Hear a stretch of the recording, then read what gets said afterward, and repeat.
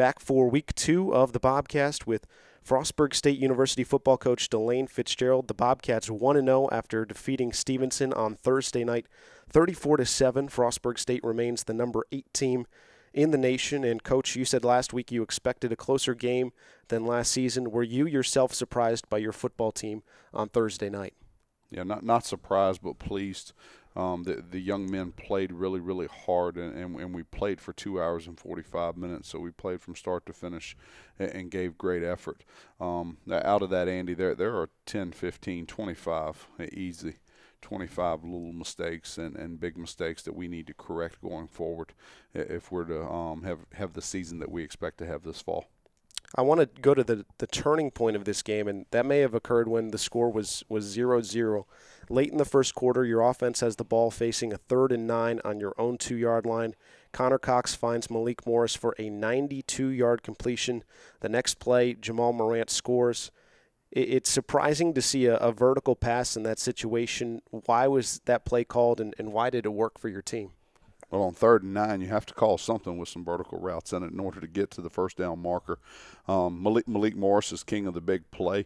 Connor threw him a ball that, that was catchable and that he could go up and catch, and he was able to keep his feet and, and run for 92 yards. We, have had some fun this week, um, or the last couple of days, heckling Malik about getting caught from behind.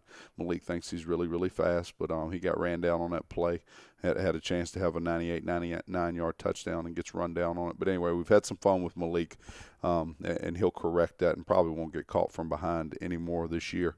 Um, Malik's made a lot of big plays over his career for us and seems to make more big plays than little plays.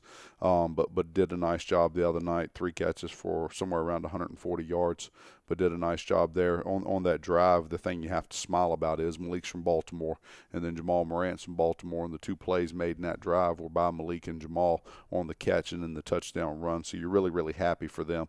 They get to go back home and with sort of a homecoming for them and do well in front of their family and friends. And that led to a seven to nothing lead. I do want to stick with the offense 44 rushing plays, and some of the scoring drives. The second scoring drive, 8 of 9 plays were running the ball. The fourth scoring drive, 11 of 12 plays were running the ball. The, the offensive line had two new players. You've got a new fullback. What can you say about your offense and how it was able to run the football effectively against Stevenson? Yeah, Andy, we're going to run the football here.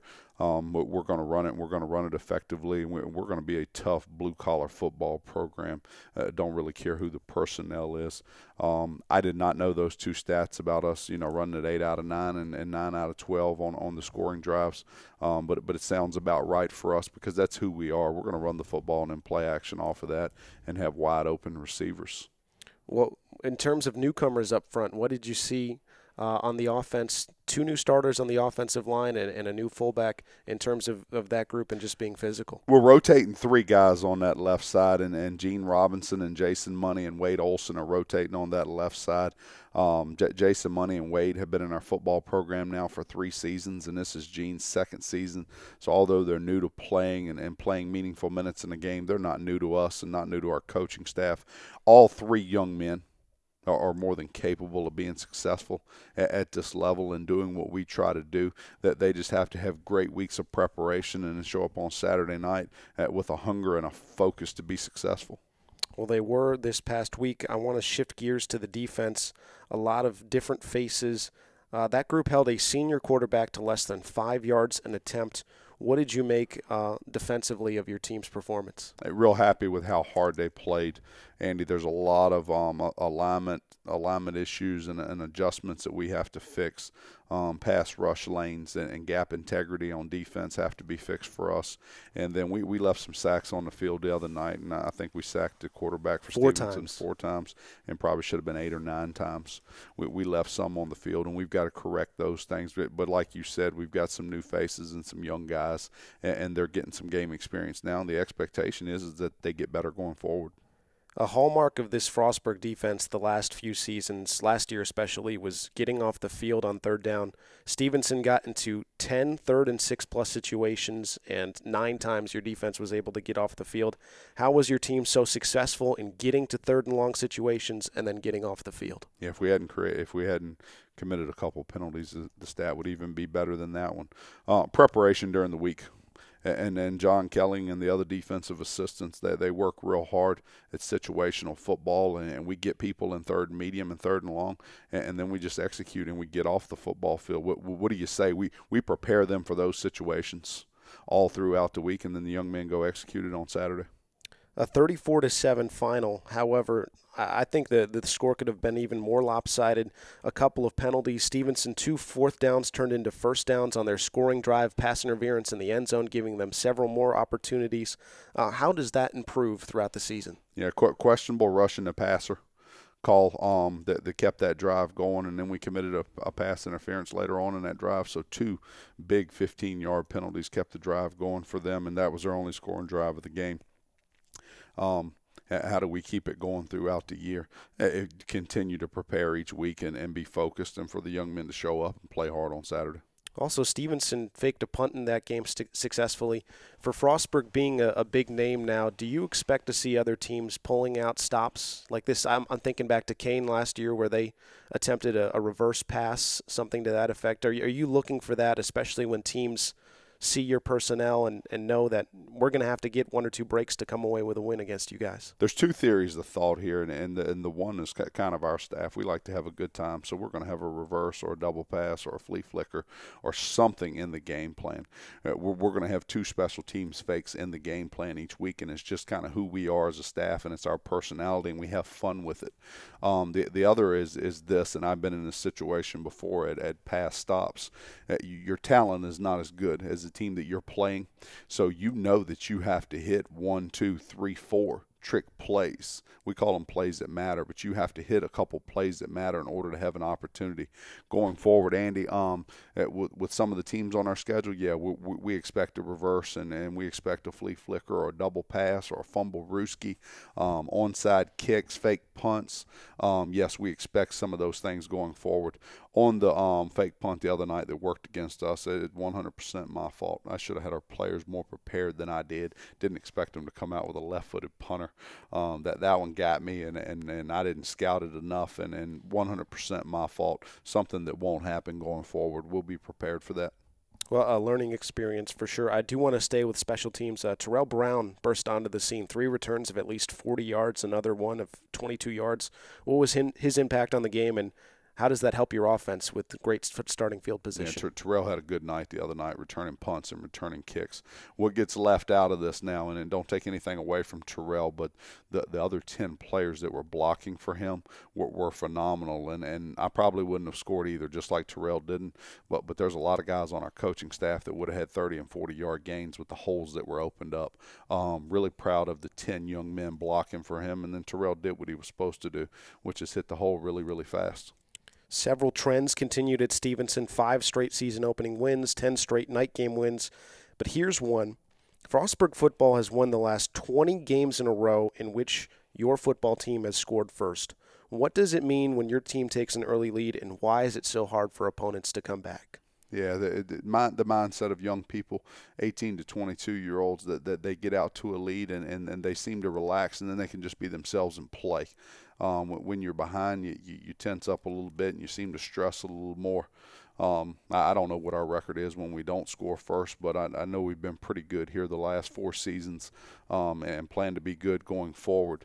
Um, but but you're, you're right. When we, when we score first, there, there just seems to be a, a relaxation that, that comes over everybody, and we just yeah, we pin our ears back and we get to be ourselves and we play really, really hard and really proud of the young men for that. Let's take a look towards next week. Traveling to TCNJ, a 49 14 win last season for Frostburg. However, the Lions peaked late last year. They won four out of their last five games, including catching Rowan and CNU for wins for TCNJ. Coach Goff was hired late last July. You guys played in week two last year, so he's had a lot more time with his team to prepare. How do you get your team ready to play and, and take TCNJ very seriously? Yeah, we're, we're going to take them seriously because it's the most important game on our schedule because it's the next game. Whoever you're playing next is the only one you need to focus on. It's the only thing that our coaching staff and our young men are looking at. Uh, Casey Goff, the head coach there, and also the defensive coordinator, does a nice job coaching that football program. Um, he was at Defiance College as the head coach before that and, and, led Defiance College to its best season in over a decade when he was the head coach there. Um, they're going to get it turned around at TCNJ sooner or later. You don't want them to get it turned around the week that you're playing them. But you're right about last year had a really really good end of their season. Um, TCNJ won four out of their last five, uh, two shutouts, and and I, they shut out if I remember right, they shut out Rowan and then they shut out Southern Virginia. But you're right, beat Rowan and Christopher Newport, two of the upper level teams in our conference. So that that was impressive for them. Um, TCNJ played so poorly Friday night against FDU Florham that, that, that it's it's detrimental for our coaching staff and for our players to watch the film of last week because it's not the same team we're going to see this Saturday. They're going to come out in their home opener and they're going to play hard and they're going to play well and, and they're going to play with a purpose because they want to wipe last week everything that happened in their game last week. They want to wipe it off the books and, and I just expect a different football team and we need to be better. Uh, there's the bottom line. We need to be better than we were last week too. So our focus today and tomorrow and throughout the rest of the week is let's get a little bit better each day, and then go out on Saturday and have fun. Well, Coach, we appreciate it. Bobcats head to TCNJ this weekend. Good luck, and thank you for joining us. I appreciate y'all having me. Next on week two of our Fall Sports Bobcast, we have men's soccer assistant coach Colton Flynn joining us this weekend. men's soccer. A split over the weekend, a win over St. Vincent College, three to nothing, a 1-0 loss in double overtime to Randolph on a penalty kick. So, Colton, what did you learn about your team over this weekend that you couldn't have known really before you started playing in an actual game? I mean, I saw a lot of positives from this weekend. Um, I definitely thought the guys brought it on Sunday in the second half and overtime. They worked really hard. Um, on on Saturday, it was just about getting that first goal, and after that, I mean, it, it a lot of a lot of things were a lot easier after that. Um, but besides that, I mean, we've seen it all preseason. Different attitude, um, the mentality. Everyone wants to work hard for each other, and I mean, it brought over. We saw it over this weekend too. I want to start with the St. Vincent game. Frostburg, three goals in the second half, the, the highest scoring half for the Bobcats since last year at Penn State Altoona. What went right in that second half to find several quality goals? I mean, you saw in the first goal that, that there was a willing to like not be selfish. The guy dummied it, let it go through the guy's leg, and and the next guy flicked it onto the back post for Haven to to have a second two time finish, and it it was a great it was a great play because it just showed the unselfishness in the whole team, and they were just buying into it, and it was a great cross by. Uh, it was Kamal through McComber's legs. Putnam gave it one touch, and then Mackey found the back of the net. Yeah, it was it was it was a great play, and um, I mean that will definitely look good on the highlight clips for sure. Um, and then obviously Haven's free kick was an awesome free kick, and then to top it all off, you you have Christian Danes come on and score an awesome header back post and just I mean and then he almost gets another one in like the 90th minute. So all the guys stepped up from the bench to the starting 11. It was a great it was a great it was just great by everyone cuz anyone we had on the bench they came on and just the the level didn't drop. That's what the main thing that I look at uh, in our bench is when someone comes on, can they bring something to the team that the guy that starting didn't bring or can they just bring a mental the men- same mentality the guys were starting, and that's what they did on Saturday for sure. Speaking to the level not dropping, uh, talking about a style of play. When when you talk to Coach Burns, you hear this all the time. We're we're going to build out of the back, mm-hmm. but this year we want to apply a little bit more pressure. What was the style your team achieved in St. Vincent, and and what was that level of play that didn't drop? I mean, once we started switching the point of attack a lot more, um, it started opening up in the wide the wide spaces where we could get those 2v1s with our wingers and outside backs. It really helped out in those in those opportunities and it, gave us the ability to serve the ball and that's how the third goal came and then the second goal also came that way was out wide crossing it in. So definitely whenever we were switching the point of attack a lot more, it definitely opened up St. Vincent. It was made it a lot easier for the guys in the middle to get on to the ball and finish it in the back of the net. I want to shift gears to the Randolph game. And talking to Coach Burns at halftime, he was he was very clear that he thought Frostburg was outplayed in the first half by Randolph. Um, how did the Bobcats? How did the team really handle that reality or that statement from the coaching staff, and then respond in the second half and overtime? I mean, we told them all preseason that uh, we didn't have that same mentality that we had in, in every preseason game or the first game in St. Vincent, where we're just all over the other team. As soon as we win, we win the first, or they win the first ball in the air, then we're on to the second. We they were winning all the second uh, balls, so they were fir- they were first to everything, and we just we just had to get into the guys and tell them like, hey, this effort's not good enough, and we got to bring it up and I felt like the second half they really they really bought into it and the whole effort from everyone from the goalkeeper to the the number 9 everyone brought the effort and then anyone we brought on brought that same intensity and it definitely showed in the second half there was a a, a little twist to the this game on Sunday it was very hot on that turf, especially when the sun was out. Uh, the bench was a little thin. I think Coach said that there were only six subs. How, how was there some mixing and matching of personnel, and how did you guys handle really the, the conditions and the fatigue as that game wore on? I mean, it was good because we got one or two guys back that was sick on Saturday that we didn't get to play. Um, yeah, I was looking down the bench and I was like, oh my God, we got more guys that are injured than actually mm-hmm. uh, healthy. So it, I was like, we we have a fine line of people that we can play. Um, but luckily we have a, a handful of guys like uh, Trevor Namey. He can play multiple positions. He can yep. come in the inside and play that attacking mid role, or he can go on the outside and play that out uh, the right mid role. Randy Putnam can do the same thing. He can play the winger or the attacking mid role. Um, and we have Haven. Obviously, he can play the nine role, or he can play that the out out out wide as the seven or eleven. So and Sam Bly same way. So we have a handful of guys that are very versatile and can play both roles on the inside and outside, and that makes our life a lot easier when we have guys that can play multiple positions and are willing to just play wherever we, we need them to play and do the job. We got our first real good look at Joel Asal on Sunday. He only had to make two saves on Saturday against St. Vincent. Did you get what you expected out of him as a coaching staff? I think in terms of shot stopping, he, he did a really well good job. I mean, he came on on some crosses, he made some saves. Um, I feel like he can get better in the distribution part of his game. I mean, me and um, Coach Seth, we were watching the film, all his touches that he had in um, the St. Vincent game, and uh, he still had some pl- ball long balls that weren't even going anywhere near our guys. But I mean, that's stuff we can work on in training and get better. Um, but in terms of his shot stopping ability. It's everything we've seen in training. He loves to come out and try to win on one v ones. He he's he's a good one v one goalkeeper. He's uh good at coming out on crosses. He he's not scared. That's the number one thing as a goalkeeper. He's a little crazy. Like every goalkeeper, you need you need him to be a little crazy, uh-huh. a little bit a little bit out there. But um yeah, he I definitely uh, thought he did a good job this weekend. He he was impressive uh, to us on Sunday. And getting into the bigger picture here, uh, the back line looks to be really solid with Basham and Getz in the middle. Cameron Coates has stepped into that right side, and then Punya Salico on the left side. We saw a little bit of Jose Rodriguez back there as well. That unit looks solid, athletic, and skilled. Um, is that really going to be the backbone of this team this season?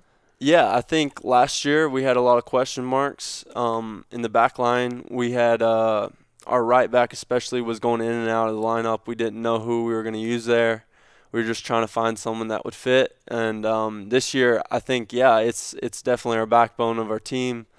Um, we've been doing this thing where it's called red, red. We're getting red shields for every clean sheet we have. So um, we got a red shield for St. Vincent, which mm-hmm. was good, and we got a red shield for Cal PA and uh, for Mount Aloysius for in the, the scrimmages. Yeah, yeah, in the preseason. So yeah, we've uh, the guys have really bought into trying to make sure we're keeping the clean sheets, and I think it all starts with the back line. We're demanding more of the back line, more communication, being loud back there.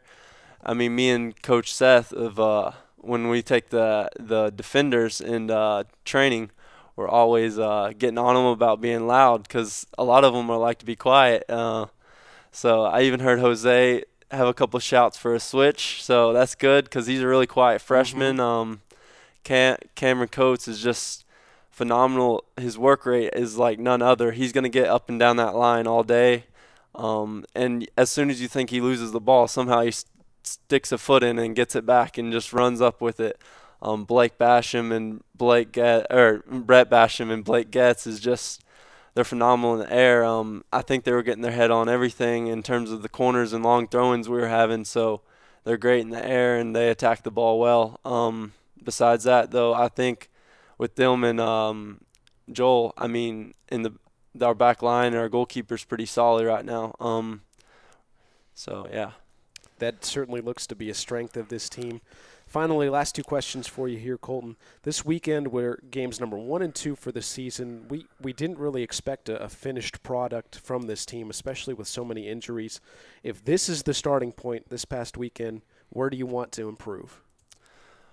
Obviously, I mean, we did get shut up, shut out in one game, and um, I don't like getting shut out. I like to score goals. I mean, I'm a center back, so I'd rather keep a clean sheet than score goals, but at the end of the day, you need goals to win games. Mm-hmm. Um, so we're still looking for those attacking options. I mean, we got a couple guys injured that can play can play in those attacking roles more that should be healthy by the end of the week or by uh, the end of this weekend or something. So we'll see how that goes. Um, yeah, I mean, we're just looking to find the right combination up top where the chemistry gels and um, guys are finding finding the right chemistry and can get on the goal and score some goals for us. Absolutely. The Coach Burns answer there would be we have to score. We had to score. We exactly. Score. Yeah.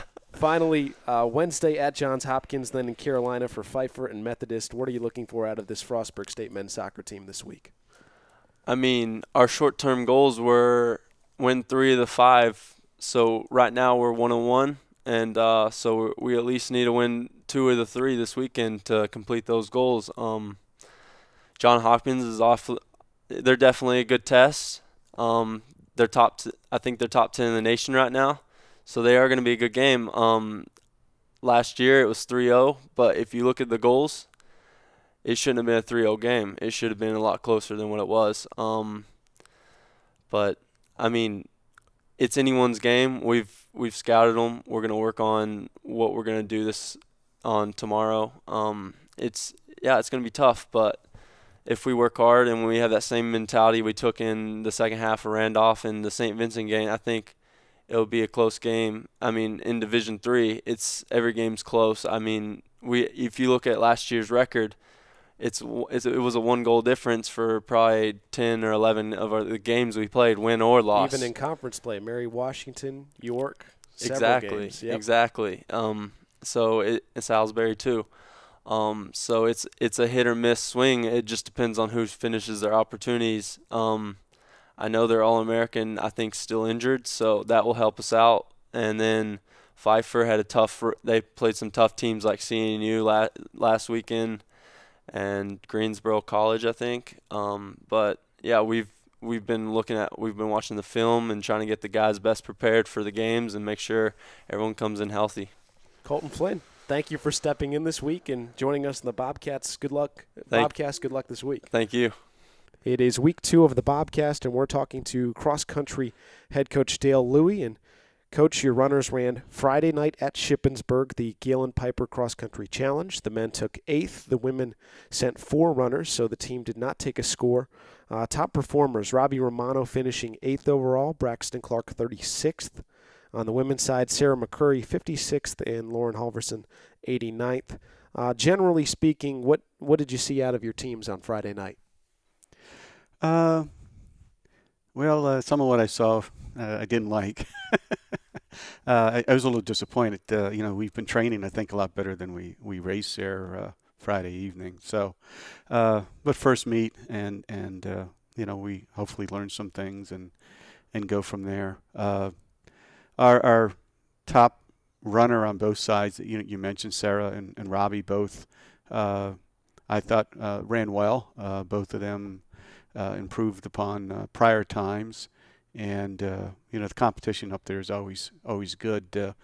you know you kind of like to be a little higher up in the the team standings and stuff, but sometimes you got to put it in perspective. I mean, uh, Shippensburg ranked in the, the top 10 of Division Two, and uh, the uh, Dickinson and Gettysburg and York teams, men and or women, all ranked in uh, the top 10 in, in the in the region Division Three.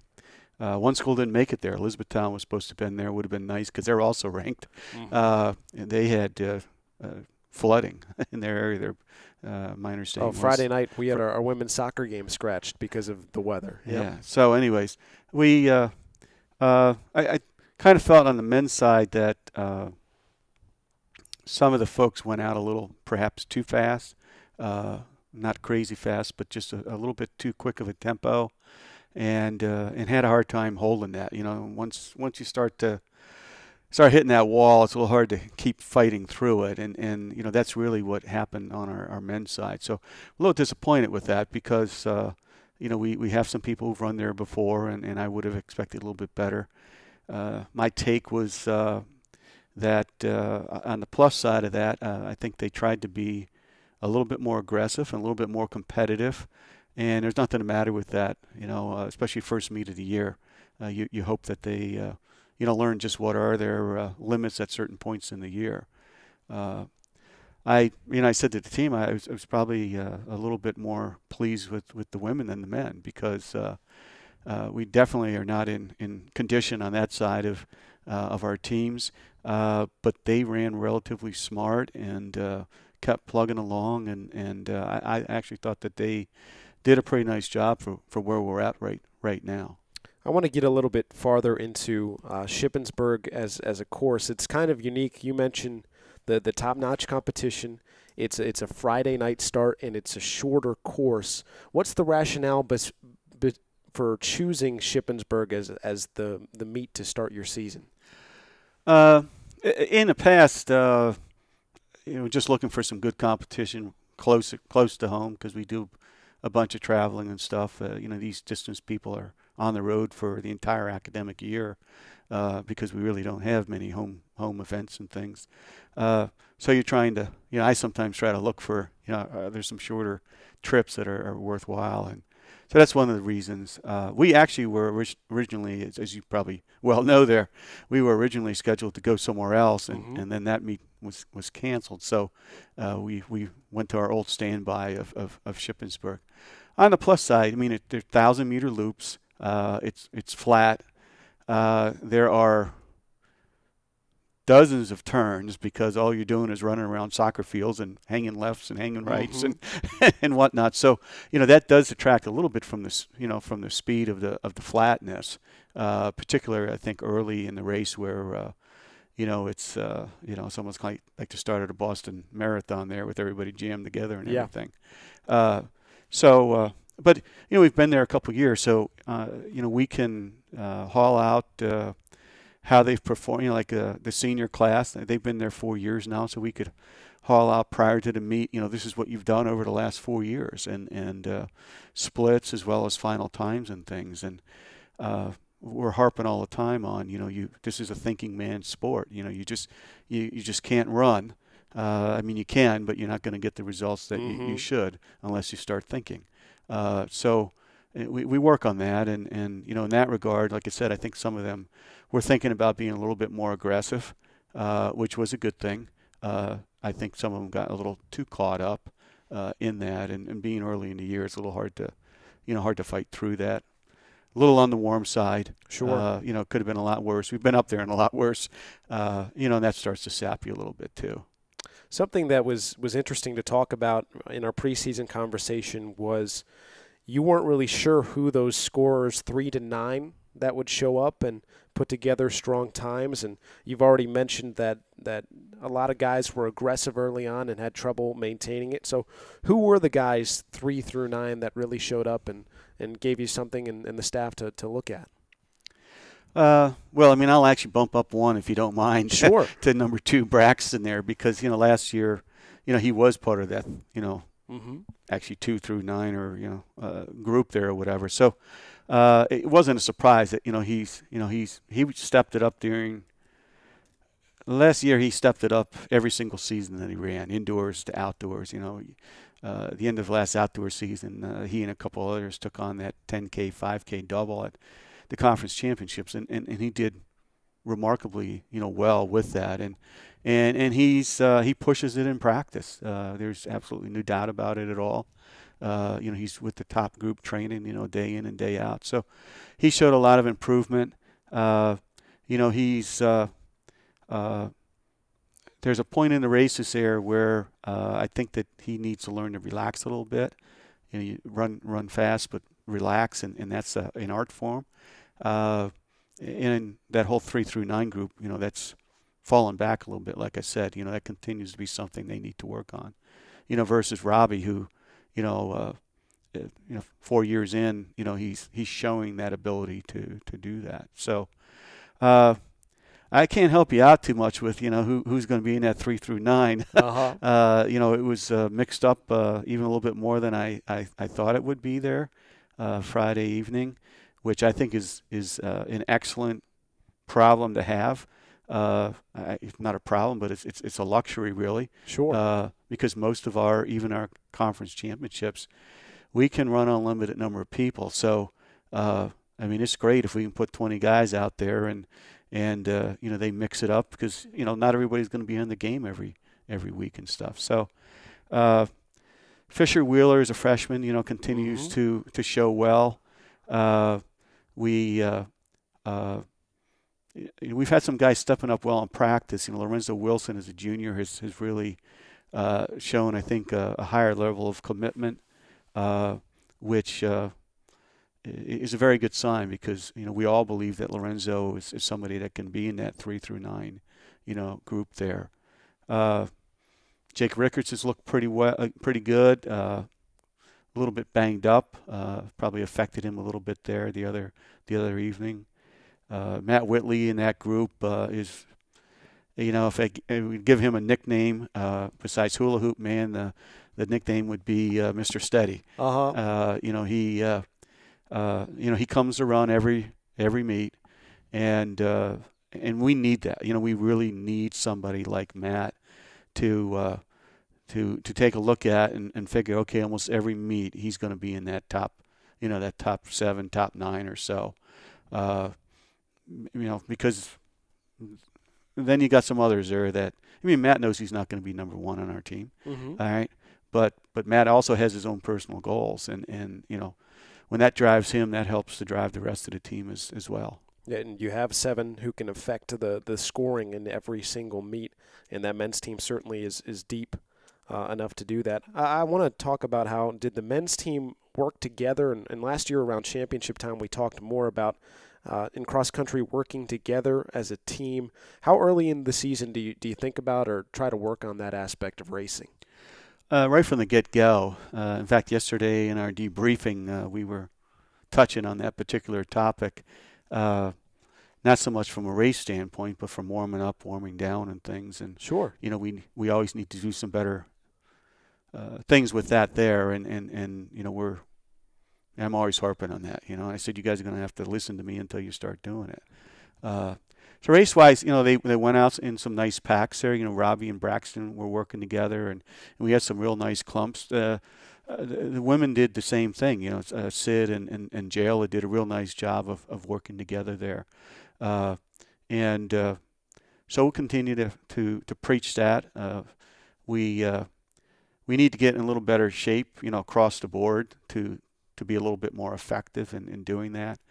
you know, Colton Flynn uh, got actually trampled and run over uh, in the first 100 meters of the race, and he was laying in the field all by himself. still our third finisher. right, yeah. still our third finisher. And, you know, and part of that was the fact that, uh, you know, he was will, willing to go after it. and, and But we had enough guys out there that, you know, he could kind of start to gauge, all right, here, you know, this is where I ought to be, you know, and he used those guys, I think, as some some benchmarks to to move up during the race. And like you said, he, he worked his way up to third on the team and stuff.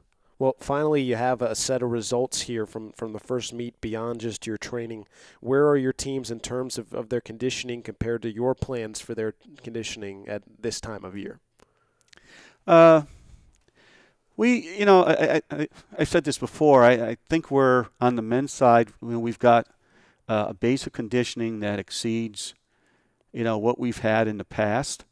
Uh, you know, we have a, a little bit more older team, but we have a whole bunch of new people as well. So, but even those new people have shown themselves very willing to, to go out there and work and, and, and get better on a consistent basis. So, uh, you know, women, there's nowhere to go, you know, uh, other than to get in better shape.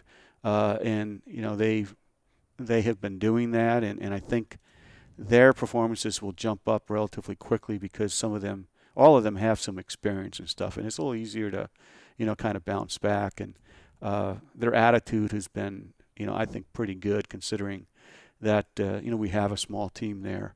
Uh, and uh, it's going to be kind of interesting to see where they end up at the end of the year. I think if they keep their heads and keep working at it, you know, we'll we'll be okay on that side too. Sure. Finally, let's look ahead to this weekend, the the Westmoreland Invitational.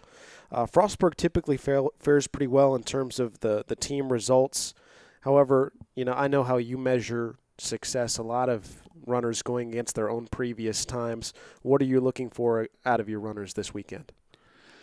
Uh, well, it's a shorter race for the men, Mm-hmm. uh, and and so that you know will help us in terms of some turnover and uh, for some of the freshmen coming in, it's it's back to familiarity Sure. because a lot of them have run 5Ks in, in high school and stuff. So it's going to be interesting to see you know how someone will want to rip it off, so to speak, uh, at that you know at that shorter distance. Uh, the women actually step up, and I think uh, considering where our women are at this year, that's actually a you know a good direction to go uh, for our women. You know, extend them uh, you know another thousand meters or so. Unfortunately, the course has changed a little bit from from the other years we've run, so uh, it'll be a little difficult you know to measure that Oh, you know, in that way. Uh, although uh, the way uh, I look at the course, it looks like it might actually run faster than it uh, than it has in, in the past uh, because uh, what were uh, some uphills are now some downhills, and uh, so that'll be good because it'll give us a chance to to see, especially our newer people, you know, how do they Mhm. run the downhills because there's again a little bit of a technique involved there, and uh, they still have uphills there, uh, and uh, one rather short and dramatic in the direction they're going this year. So uh, we're really going to have to be thinking about uh, uh, flowing into that. Otherwise, uh, in the last thousand meters, that's going to be a not very pretty sight. Uh huh. yeah, just making it to the finish line. Well, the the Bobcats have fared pretty well at the Westmoreland CC Invitational. We're looking forward to it. Dale Luy, we'll see you next week. Thanks for joining us. All right. Thank you very much, Andy. Take care. Next up on the Bobcast, we have Frostburg State volleyball assistant coach Nicole Regner. In her first season with the Bobcats, however, she's no stranger to Coach Fletcher as she was a, a four year player for Coach Fletcher at a previous stop. So let's get into Frostburg State this season. Two and two at the St. Vincent Bearcat Challenge. Uh, losses to St. Vincent and Westminster, wins over Allegheny and Waynesburg. And Coach, overall, how did the team play, and did you learn anything new about your squad? Well, we are a young team. We have seven juniors and then seven freshmen. So, putting a team on the court that can mesh well for your first showing is a lot of it's like playing chess almost. You have to put the people in positions where they play next to each other. And we played, I guess, as we expected. We were up against St. Vincent, which was one of the tougher teams at the tournament right off the bat. Mm-hmm. So we could learn from them and progress as the day and the tournament prog- went on. And Westminster as well. Westminster, we saw win the ECAC tournament last year here, the number one team in the PAC preseason poll. So you go from St. Vincent and Westminster on day one to playing Allegheny and Waynesburg in day two. Those were two wins. Can you give examples of how your team or how the, the Bobcats progressed into day two? Yeah, um, well, as coaches, we got together and, you know, we definitely tweaked the lineup. We really saw, you know, who could play better next to each other, um, where people's strengths were, um, and we like to play off people's strengths. You know, that's how you win games. So we changed the lineup up and they ended up playing really, really solid volleyball. There's obviously things that we can improve on, and there are always things to improve on. But as a team, they grew together and learned how to win together, being that we had, I think, a majority of freshmen on the court at one point. Uh, three out of your first four uh, in terms of kills over the weekend were either newcomers or freshmen, including Haley Ultimus, who led the team with three kills per set. Also, in, in terms of total attacks, she led the team. So, including Ultimus, uh, Barkdahl, Godlove, some of those newcomers, how, how did they look and how did they sort of ease into the, the beginning of their college careers? Um, for a lot of them, these were um, literally first college games for them. Um, Godlove's a transfer, so this was a different level for her. Um, the speed of the game is different at this level. So they held their own, which we're really proud of, and they can only go up from here, which we're excited to see them grow and continue with. I want to hit on another difference day one to day two. Day one, 49 errors in two games. Day two, only 24 errors in two games. How were how how was your team able to be more efficient, especially in terms of hitting in day in day number two? Defense. A hundred percent difference. Um, we were able, with the tweaking of the lineup, to create more defensive opportunities for our, you know, DSs and our libero, um, as well as blocking opportunities as well. So that eliminated a lot of the errors as a whole, um, as a team. And in talking to Becky for preseason play, she was really excited about a lot of the returners in that arena. Uh, Corey Smothers, Hannah Brown, Katie Lowe are all juniors. They're all back. How would you rate the the serve receive group and the passing for the first weekend? Um, I think it went really well. It's where we are at and where we're expected to be at. I think at this point, um, Becky has that's been the bread and, bread and butter of the team has been defense and serve receive. Um, we definitely are tweaking. We're kind of going back to the basics and reteaching it to everybody else. And we're looking to those juniors to step up um, and really show, especially the freshmen and newcomers, you know, where we're at. And we can only go up from there. So they're setting the expectation. Setting a good starting point. Yeah, absolutely. Uh, for a team that has a lot of newcomers to the roster. Uh, last year's team a lot of seniors, a lot of experience, and they played a lot of competitive matches, many that went five sets and many competitive sets even within those matches. We saw a, a, very competitive set at the end of the Allegheny game. Your group faced a set point, came back and won 26 24. How important is it to play sets like that early in the season with a young group and actually win those sets and build that confidence? Learning to finish is huge that is, you know, we work on gameplay like that all the time in practice where you have to score the last, you know, three, four points in order to win, you know, the drill. Um, so we practice those things. The pressure, you know, sometimes being a freshman or being a newcomer, pressure can get the best of you. So we do a lot of gameplay situations that prepare them. But in game situation, that's the best experience for them. So I'm glad we were able to finish and experience and end strong. Um, but we're going to have to continue that as we go.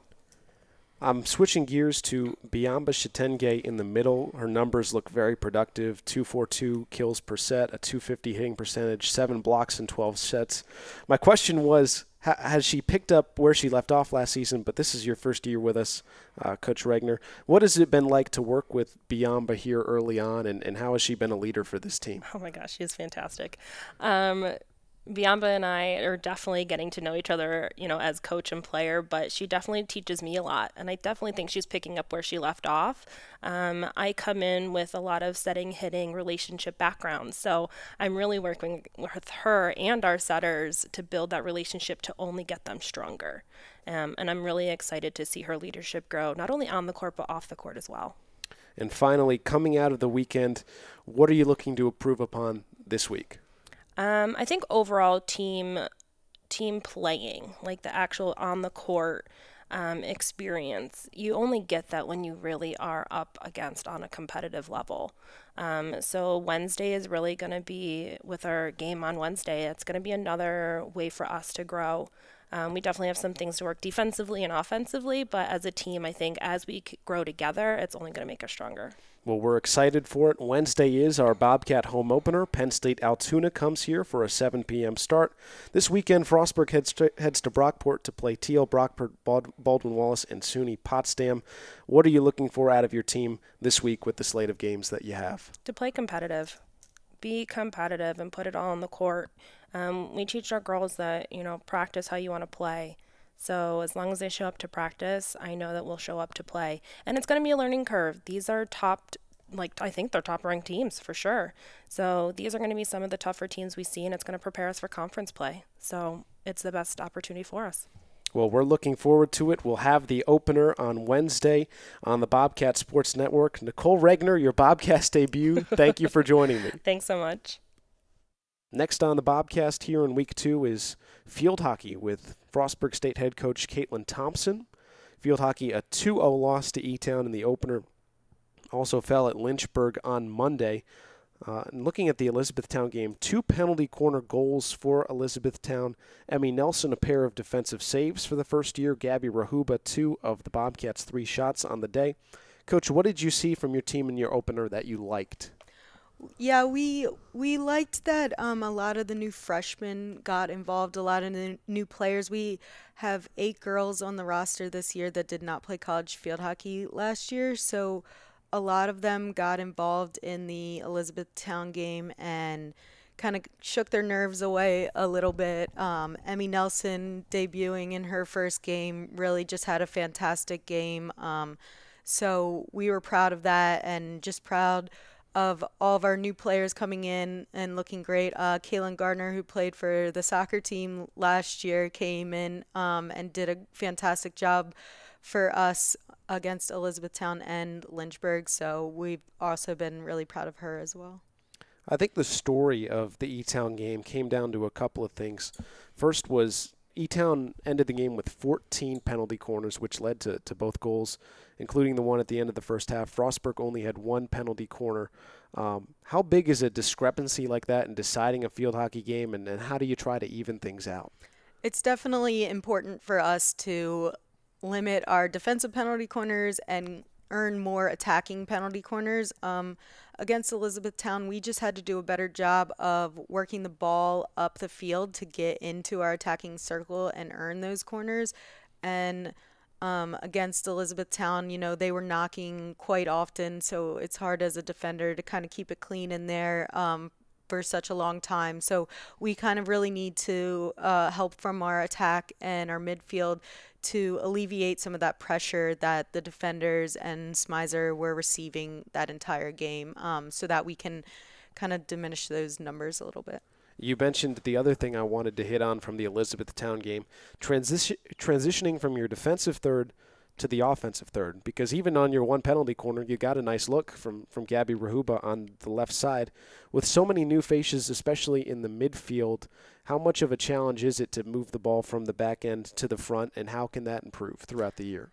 Yeah, we we definitely did a better job of that against um, Lynchburg. That's been all preseason. A strength of ours is moving that ball around pressure, um, and we look really different from last year to this year as a team doing that. I think um, we kind of, uh, you know, had didn't really do a good job in our first game of doing that. Um, so against Lynchburg, who is a fantastic program, we really did have some moments that looked really great, and Lynchburg did not know how to handle us at times, um, especially in the first half. Um, so if we just continue to work, build on that base, we'll definitely be uh, set in the future um, moving forward. And that was an area of the midfield where both Ivy Meisner and Liz Davis were last year, and they've graduated.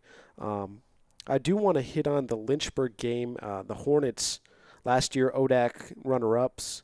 Uh, perennially a, a, strong program to play a team like Lynchburg, and you'll play Juniata, and then in your own conference you play quality teams. Uh, you can't beat a quality team without playing them first. Uh, I, I, know it's a discouraging result, but were there moments you pulled out of Lynchburg, as you mentioned, moving the ball that you really want to build on? Yeah, for sure. We looked we looked really good when we were playing our type of two-touch hockey up the field. Um, like I said, there were moments when we were transitioning from defense to offense that Lynchburg was just unable to handle us, and that's a team that I expect will be receiving top 20 votes in the mm-hmm. near future. So for us to see that so early in um, in the season with as many new players as we have is really encouraging for moving forward. Um, for later on when we play against those CIC teams who are already in the top 20. How is your team's conditioning right now, especially early in the season where it can be very hot on the turf? Do you like where your team is? And, and really, as the season moves on, what are you looking for in that capacity? We definitely suffered a little bit yesterday from the heat. It was the feels like was basically over 100 degrees, mm-hmm. and it was a very tough game. Um, and we pushed through it in the first ha- half and probably a little bit into the second half of the game, but uh, we definitely faltered towards the end, and I think that that um, is where some of those kind of lopsided stats ended up being. So we need to just do a better job of when we're tired um, physically to not make mental mistakes um, that are going to cost us in the end. And we talked about that during the game. So um, th- now that the girls are kind of aware of it and aware of solutions of how to fix it, uh, we're hoping moving forward that it's not as bad of a result. So through the two games, we're still searching for that first goal. What's what's the attitude of the team, and what is the really the message you want to give your team this week to to keep pushing and find that first goal? Yeah, we played really tough teams to open up the to open up the season, and I'm kind of glad we did because you know this is the, t- the these are the types of teams we're going to face when yep. it comes to CAC time. So you know the fact that we're able to see some of these bright things happening on the field um, so early in the season with all the new players that we have.